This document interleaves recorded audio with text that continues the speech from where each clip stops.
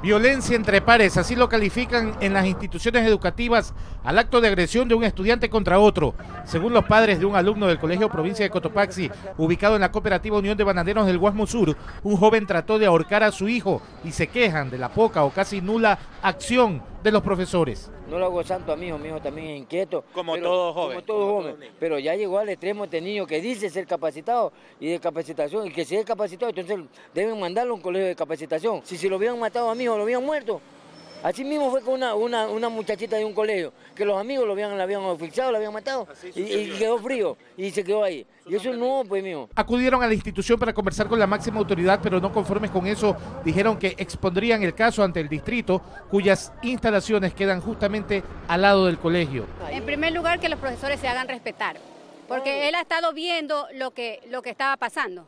Incluso cuando el, mi sobrino se desmayó la primera vez, el profesor le había dicho, ven, dale respiración boca a boca. Entonces, eso es burlarse. Si él es profesor, tiene que hacerse respetar y poner una orden. Entonces, ¿para qué están ahí? respeto. Es, lógico, pues. Si para eso son profesores, para que ellos pongan la orden adentro en el grado.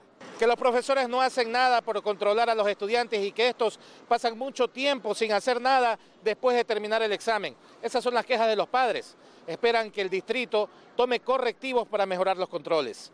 Cristian Arias, Noticiero 1.